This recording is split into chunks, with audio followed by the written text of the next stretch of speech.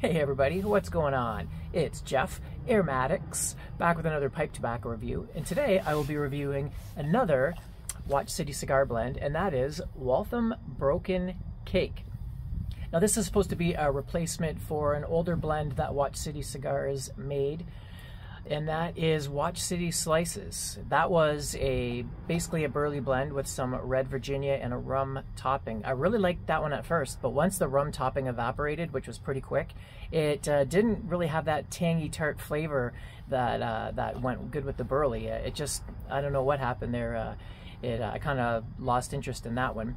But uh, I figured this one would, be another good burley to try out, and it is uh, in the similar vein, but not quite. So it is still a burley-based tobacco, but this time it has some Kentucky fire cured, some air cured burley, and some bright Virginia, as well as a rum and chocolate topping. It is a broken cake. I'll show you a picture of it here instead of showing you, I don't know how well you can see in the tin. So it's like a cake that's all uh, kind of broken in chunks. And uh, the smell is kind of a little bit nutty, a little bit uh, cocoa and molasses, as well as there's a slight, slight, slight barbecue smell to it. At first when I got it, I didn't think it really, I couldn't really smell the dark fired, but after smoking some other burleys and then trying this, uh, I could, yeah, then I could, I could detect it once I had something to contrast it to. I have it loaded up in my hardwood poker. I really like this. I was wondering how a hardwood uh, type of pipe would smoke because usually it's briar, right? So I figured maybe wood uh, wouldn't really taste as good, but it's, it's been great. I really, really like it. So let's light up and see what we're tasting.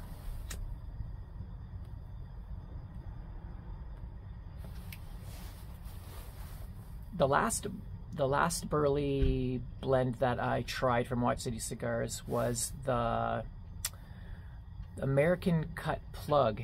And th this one is definitely a step above that. The American Cut Plug, it would be something a little bit lighter, um, more sweet and, and, traditional type of Codger Burley, where this is more on the, the fuller side for sure.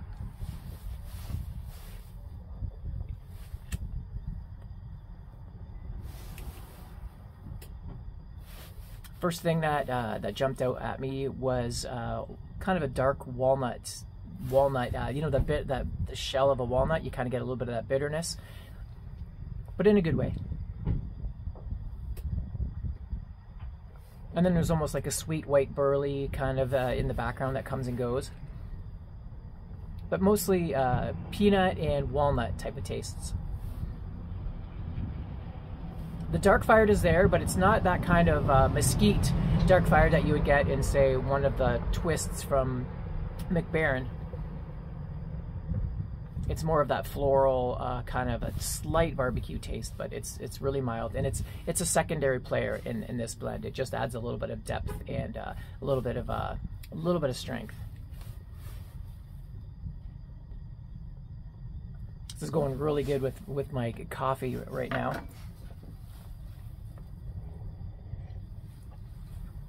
Most burleys always go great in a cob and great with a coffee.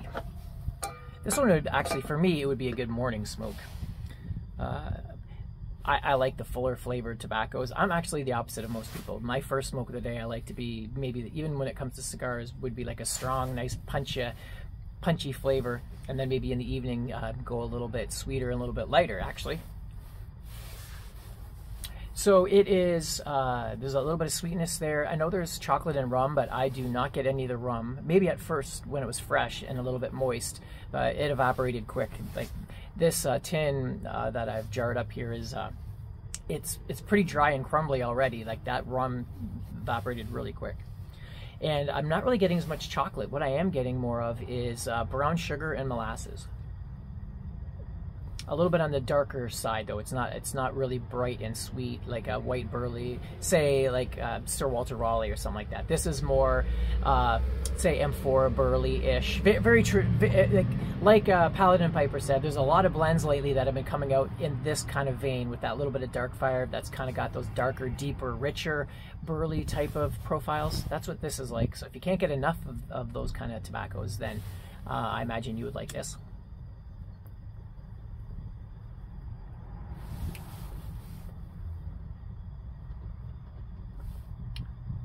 Only problem I have is certain tobaccos, especially I find the Sutliff sourced uh, Sutliff sourced tobaccos, like which I think this is based off of. I find that for some reason they start off really good, really flavorful, and then halfway through. Uh, I think there's just a chemical reaction and I just start losing the flavor. I don't get that punch that I did at first. Whereas some other ones, especially Cornell and Diehl, like I had Burley Flake number two the other day, and it actually started out you know, fairly, you know, it's a strong blend to begin with, but you know, average, and then it started building up in flavor as I went down. So I, that's one thing that I, that I find really frustrating about some of these, some of these really good blended tobaccos is that it just fades away on me, and I just start puffing more and more, and then I lose more and more flavor. This is kind of like that, but it starts out strong enough that even when it does kind of lose its flavor,